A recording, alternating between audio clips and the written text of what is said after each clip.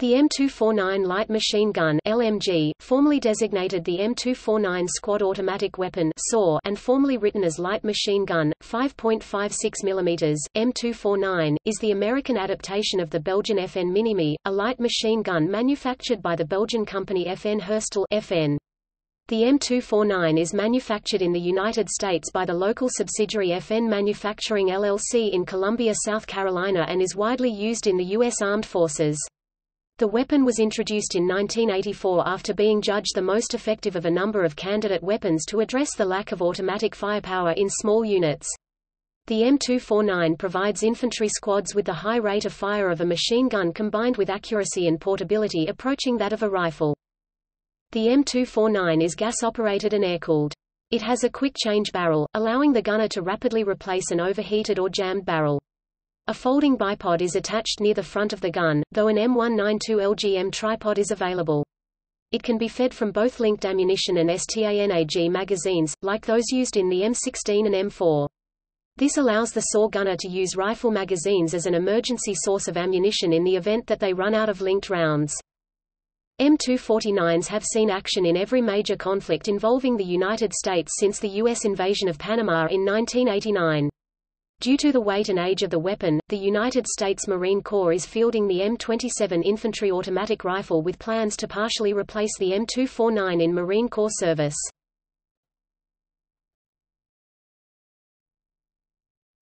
Topic: Etymology. The M249 is often referred to as a squad assault weapon.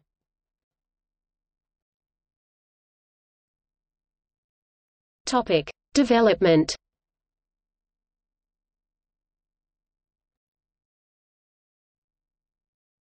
Topic: Background. In 1965, the U.S. Army and U.S. Marine Corps primary machine guns were the M2 Browning and M60. The M2 was a large-caliber heavy machine gun, usually mounted on vehicles or in fixed emplacements. The M60 was a more mobile general-purpose machine gun intended to be carried with the troops to provide heavy automatic fire. Both were very heavy weapons and usually required a crew of at least two to operate efficiently. The Browning automatic rifle, the Army's main individual machine gun since its introduction in World War I, was phased out in 1957 with the introduction of the M14 rifle, which had a fully automatic mode. Designated rifleman in every squad were ordered to use their weapons on the fully automatic setting, while other troops were required to use their rifles semi-automatic mode on most occasions to increase accuracy and conserve ammunition. Because the M14 and M16 rifles had not been designed with sustained automatic fire in mind, they often overheated or jammed. The 20-round and 30-round magazines of these weapons limited their sustained automatic effectiveness when compared to belt-fed weapons. The Army decided that an individual machine gun, lighter than the M60, but with more firepower than the M16, would be advantageous. Troops would no longer have to rely on rifles for automatic fire. Through the 1960s, the introduction of a machine gun into the infantry squad was examined in various studies. While there was a brief flirtation with the concept of a flechette or dart-firing universal machine gun during one study, most light machine gun experiments concentrated on the Stoner 63 light machine gun, a modular weapon that could be easily modified for different purposes. The Stoner 63 LMG saw combat for a brief period in Vietnam with the Marine Corps, and later on a wider scale with the U.S. Navy SEALs. In 1968, the Army Small Arms Program developed plans for a new 5.56 mm caliber LMG, though no funds were allocated 5.56 mm ammunition was viewed as underpowered by many in the armed forces. Studies of improved 5.56 mm ammunition, with better performance characteristics, began. The earliest reference to studies of other caliber cartridges for the LMG did not appear until 1969. In July 1970, the U.S. Army finally approved development of an LMG, with no specified caliber. At this time, the nomenclature, Squad Automatic Weapon, SAW, was introduced. Actual design of alternative cartridges for the LMG did not begin until July 1971. A month later, Frankfurt Arsenal decided on two cartridge designs for the new LMG, a 6 mm cartridge and a new 5.56 mm cartridge with a much larger case. Neither design was finalized by March 1972, when the Army published the specifications document for the plan SAW. The 6 mm cartridge design was eventually approved in May that year. Prior to July 1972, SAW development contracts were awarded to Maremont, Philco Ford, and the Rodman Laboratory at Rock Island Arsenal. These companies produced designs with Army designations XM233, XM234 and XM235 respectively. X denoting experimental Designs were required to have a weight of less than 9.07 kilograms 20 pounds including 200 rounds of ammunition, and a range of at least 800 meters 2,600 feet. Topic trials When the time came for developmental and operational testing of the SAW candidates, three 5.56 mm candidate weapons were included with the 6 mm candidates, the M16 HBAR, a heavy barrel variant of the M16 designed for prolonged firing, the Fabrique Nationale de Herstal FN Minimi, and the HK-23A1. The initial round of tests ended in December 1974. In February 1976, the Minimi and Rodman XM235 SAW were selected for further development. At this time, opinions of the 6 mm cartridge were beginning to sour due to the logistical implications of providing yet another ammunition type to the infantry. In June, it was requested that the SAW specifications document be revised to emphasize standard 5.56 mm ammunition. In October, the requested revisions were approved, and bids were solicited for the conversion of the Rodman XM235 to 5.56 mm. Production of the converted XM235 was awarded to Ford Aerospace, and its designation was changed to XM248. A new M16 HBAR variant, the XM106, was developed in 1978, and soon after, Heckler & Koch lobbied to include a 5.56 mm conversion of its HK21A1 instead of the standard 7.62 mm NATO ammunition it was built for in future SAW testing. The latter model was designated the XM262. At this time, the Minimi received the designation XM249. Testing of the four candidates resumed in April 1979. In May 1980, the FNX M249 was selected as the best choice for future development on the grounds of performance and cost, while the HKX M262 reportedly came a close second. In September, FN was awarded a maturity phase contract for further development of the XM249, and testing of the new weapon began in June 1981. The official adoption took place in February 1982. Topic: Service. The new gun entered U.S. Army service as the M249 Squad automatic weapon in 1984, and was adopted by the U.S. Marine Corps a year later. The U.S. production model has a different butt from that of the regular Minimi. It is manufactured in the FN factory in Columbia, South Carolina. Although found to be reliable and accurate, the M249 was considered to present unacceptable hazards in the form of an exposed hot barrel and sharp edges.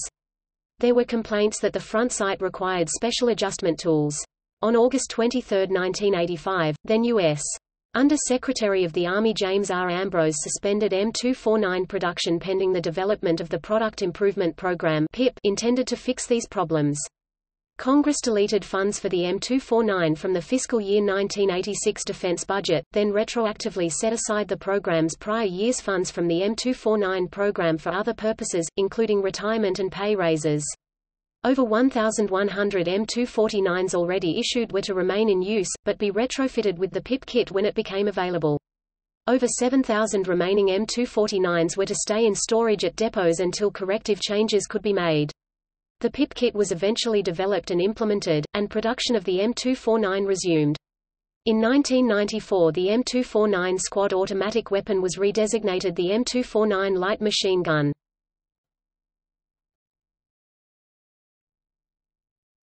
Topic: Design details. The M249 is a belt-fed light machine gun. It fires the 5.56 x 45 mm NATO cartridge, usually a combination of one M856 tracer and four M855 ball cartridges fed from M27 linked belts. Belts are typically held in a hard plastic or soft canvas box attached to the underside of the weapon. It fires from an open bolt and is gas-operated. When the trigger is pulled, the bolt and bolt carrier move forward under the power of the recoil spring. A cartridge is stripped from the belt, chambered, and discharged, sending a bullet down the bore. Expanding propellant gases are diverted through a hole in the barrel into a chamber. This pressure moves a piston providing the energy to extract and eject the spent casing as well as advance the belt and compress the recoil spring, thus preparing for subsequent shots. At 1041 mm 41 in long and 7.5 kilograms 17 pounds in weight 10 kilograms 22 pounds including a 200 round belt and plastic ammo box, the M249 is a cumbersome weapon. The barrel has a rifling twist rate of 1 turn in 180 mm 7 in. Because firing heats up the bore, the air-cooled barrel is equipped with a mechanism to remove and replace the barrel assembly with a spare. A folding bipod with adjustable legs is attached near the front of the weapon, though there are provisions for hard mounting to a M192 lightweight ground mount tripod or vehicle mount. The M249 provides accuracy approaching that of a rifle, combined with the sustained volume of fire of a machine gun.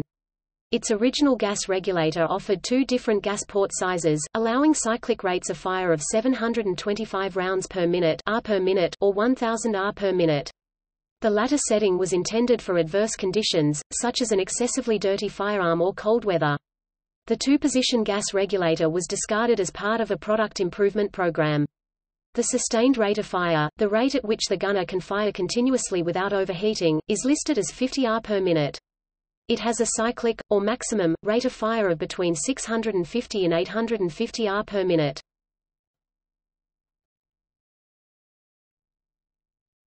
Topic. Operational history The M249 LMG entered service in 1984 as the M249 SAW. Initial reactions to the gun were mixed, it fulfilled the light machine gun role well when fired from the ground, but was not as effective when fired from the shoulder or hip. It was praised for its extreme durability and massive firepower, though a number of areas for improvement were highlighted. The blank firing attachment fitted poorly, the bipod was very weak and broke easily, the sling attachment was awkward, and there were many slots and gaps that accumulated dirt. Some claimed that the heavy-barreled version of the M16 rifle was a more effective light machine gun. The M249 SAW was not used heavily before the 1991 Gulf War, though it has been used in every major U.S. conflict since. American personnel in Somalia in 1993, Bosnia in 1994, Kosovo in 1999, Afghanistan in 2001 and Iraq since 2003 have been issued M249s. Surplus weapons were donated to Bolivia, Colombia and Tunisia. Tactically, SAWs are either carried with a maneuvering unit and fired while handheld, or positioned to remain stationary and provide covering fire for other units. Upon introduction, the basic load of ammunition was 600 rounds, carried in three 200-round boxes.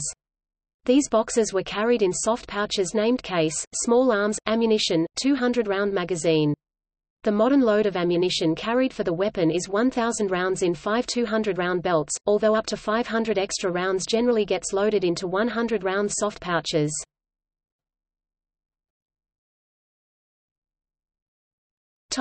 Persian Gulf War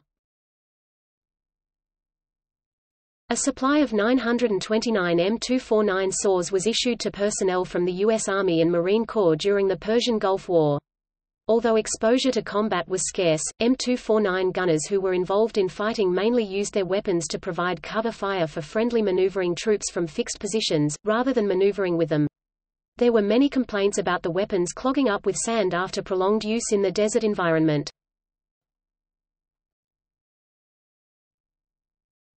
Topic: War in Afghanistan. The standard squad automatic weapon in Afghanistan is the M249 with PIP kit, which serves alongside its heavier counterpart, the M240 machine gun. Most M249s were given a collapsible buttstock immediately prior to the invasion to reduce its length and make the weapons more practical for parachuting and close-quarters combat. Special operations troops typically favor the shorter para version of the weapon, which weighs much less. A report entitled Lessons Learned in Afghanistan was released by Lieutenant Colonel Charlie Dean and SFC Sam Newland of the U.S. Army Natick Soldier Center in 2002.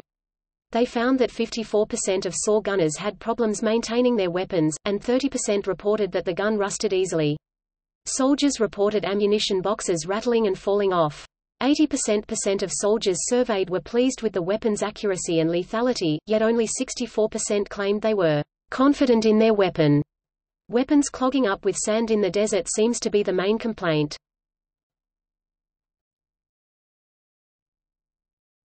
Topic: Iraq War. The Pip and Para versions of the M249 have been used in the Iraq War since the invasion. By 2004, many M249s had been in service for almost 20 years and were becoming increasingly unreliable. Soldiers were requesting replacements and new features, and there are reports of soldiers holding their weapons together with duct tape. The lethality of the 5.56 mm ammunition has been called into question by reports of enemy soldiers still firing after being hit multiple times. As in previous conflicts, the sandy environment causes the M249s and other weapons to clog up and jam if they are not cleaned frequently. Operation Iraqi Freedom PEO Soldier Lessons Learned, a report on the performance of weapons in the Iraq War, was published by Lieutenant Colonel Jim Smith of the U.S. Army on May 15, 2003. Smith spoke positively of the M249, claiming that it provided the requisite firepower at the squad level as intended. He praised the SPW variant, noting that its Short barrel and forward pistol grip allowed for very effective use of the SAW in urban terrain. At the National Defense Industrial Association in 2007, LTC Al Kelly of the 1st Battalion, 17th Infantry gave a presentation describing the M249 as having good range, excellent reliability, and an excellent tracer. He said that a cloth pouch was preferred over the plastic box for holding linked ammunition, and that Knockdown power is poor but is compensated by rate of fire. In December 2006, the Center for Naval Analyses released a report on U.S. small arms in combat. The CNA conducted surveys on 2,608 troops returning from combat in Iraq and Afghanistan over the past 12 months. Only troops who fired their weapons at enemy targets were allowed to participate. 341 troops were armed with M249 saws, making up 13% of the survey. 71% of M249 users 242 troops reported that they were satisfied with the weapon. 40% of users preferred feeding the SAW with the soft 100-round pouch, while 21% chose the soft and hard 200-round pouches each. 60% 205 troops were satisfied with handling qualities, such as handguards, size, and weight. Of those dissatisfied, just under half thought that it was too heavy. M249 users had the lowest levels of satisfaction with weapon maintainability at 70% 239 troops, most due to the difficulty in removing and receiving small components and poor corrosion resistance. The SAW had the highest levels of stoppages at 30% 102 troops, and 41% of those that experienced a stoppage said it had a large impact on their ability to clear the stoppage and re-engage their target. 65% 222 troops did not need their machine guns repaired while in theater. 65% 222 troops were confident in the M249's reliability, defined as level of soldier confidence their weapon will fire without malfunction, and 64% 218 troops were confident in its durability, defined as level of soldier confidence their weapon will not break or need repair. Both factors were attributed to high levels of soldiers performing their own maintenance. 60% of M249 users offered recommendations for improvements. 17% of requests were for making the weapon lighter, and another 17% were for more durable belt links and drums, as well as other modifications, such as a collapsible stock. Topic future An extensive maintenance program intended to extend the service lives of M249s has been carried out to refurbish rifles, especially units that suffered from wear due to heavy use. In particular the warping of the receiver rails on the early models was a defect that occurred in heavily used first-generation M249s. This defect however has been completely eliminated on later models and is no longer present on the current issue M249, which has reinforced rails and full-length welding rather than spot welding.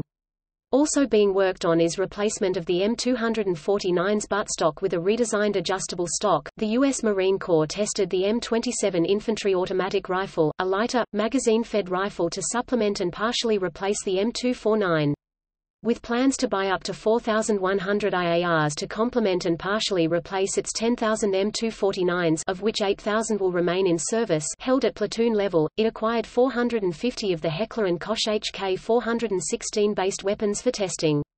The Marines started fielding the M27 in 2010, but kept both weapons in the inventory due to the M249's greater ammunition capacity and higher sustained fire rate. Rifle companies are typically issued 27 IARs and 6 SAWs. The U.S. Army does not plan to introduce the IAR.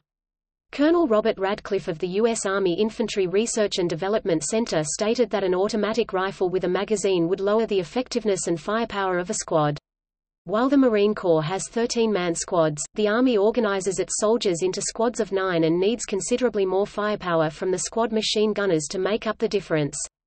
The U.S. Army does, however, want to replace aging M249s with newer weapons. In early 2017, the U.S. Army posted a notice soliciting bids for the Next Generation Squad Weapon Automatic Rifle NGSWR or NGSAR to replace the M249.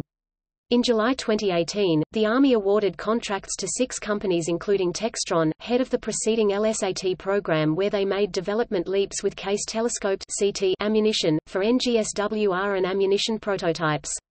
These first prototypes will be delivered to the Army for evaluation in June 2019. The stated requirements include, maximum weight of 5.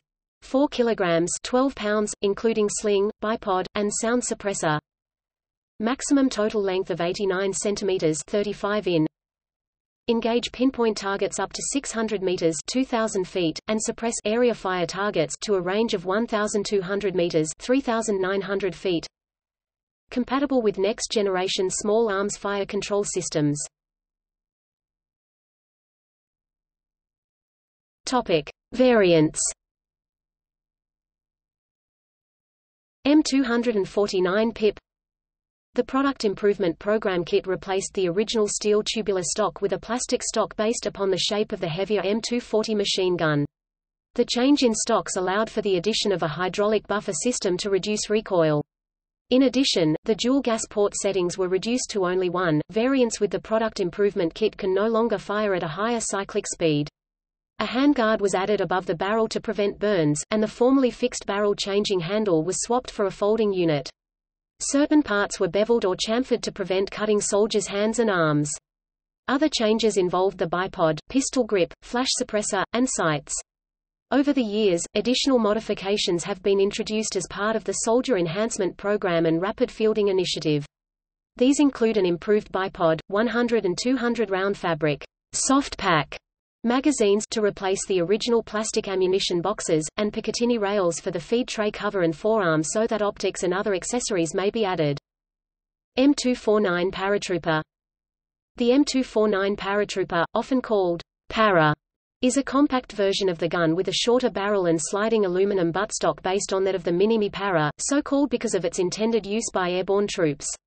It is much shorter and considerably lighter than the regular M249 at 893 mm 35 in long and 7.1 kg 16 pounds in weight. M249 Special Purpose Weapon This lightweight and shorter version of the M249 is designed to meet USSOCOM Special Operations Forces requirements. The barrel-changing handle, magazine insertion well, and vehicle mounting lug all have been removed to reduce weight. As a result, the SPW cannot be mounted in vehicles or use M16 magazines. Picatinny rails were added to the feed cover and forearm for the mounting of optics, lasers, vertical foregrips, and other M4 SOP MOD kit accessories. The SPW has a detachable bipod. The SPW's lightweight barrel is longer than that of the Para model, giving it a total length of 908 mm 36 in and a weight of 5.7 kg 13 pounds. Mk46 This is a variant of the special-purpose weapon adopted by USSOCOM. The program, which led to both the Mk-46 and Mk-48, was headed by the U.S. Naval Special Warfare Command NAVSPECWAR. Like the SPW, the barrel-changing handle, magazine insertion well, and vehicle mounting lugs have been removed to save weight. However, the Mk46 retains the standard M249 plastic buttstock instead of the collapsible buttstock used on the SPW. The Picatinny rail forearm differs slightly from the SPW. The Mk46 has the option of using the lighter SPW barrel or a thicker, fluted barrel of the same length, Mk48. This is a 7.62 x 51 mm NATO version of the Mk-46, used by USSOCOM, when a heavier cartridge is required. It is officially classified as an LWMG lightweight machine gun and was developed as a replacement for the Mk-43 Mod 0 over 1. The M60-based machine guns are a great deal more portable than the heavier M240-based designs used elsewhere in the U.S. military in the infantry medium machine gun role. However, the M60-based designs have a long history of insufficient reliability. Trials conducted through the mid-1990s led the U.S. Army to replace its M60 with the M240B GPMGs. The M240B, however, weighs in at approximately equals 27.5 pounds and is about 49 long with the standard barrel. NAVSPECWAR was reluctant to give up the increased portability of the M60 approximately equals 22.5 pounds, 37.7 OAL with the shortest assault barrel designs in spite of the M240's increased reliability. A request was put in for a new machine gun in 2001, and FN responded with a scaled-up version of the M249 weighing in at approximately equals 18.5 pounds with an OAL of approximately equals 39.5. The new design achieved much better reliability than the M60-based weapons while bettering its lightweight and maintaining the same manual of arms as the already in use M249. USSOCOM was slated to begin receiving deliveries of the new gun in August 2003, M249S, this is a semi-automatic version manufactured for the civilian sport shooting and collectors market. Derived from the fully automatic military firearm, this version shares most of the major components of the military models with the exception of the firing mechanism and the addition of welded internal components to prevent conversion to a fully automatic mode. Notably, this version retains the ability to be belt-fed, an uncommon feature in civilian firearms.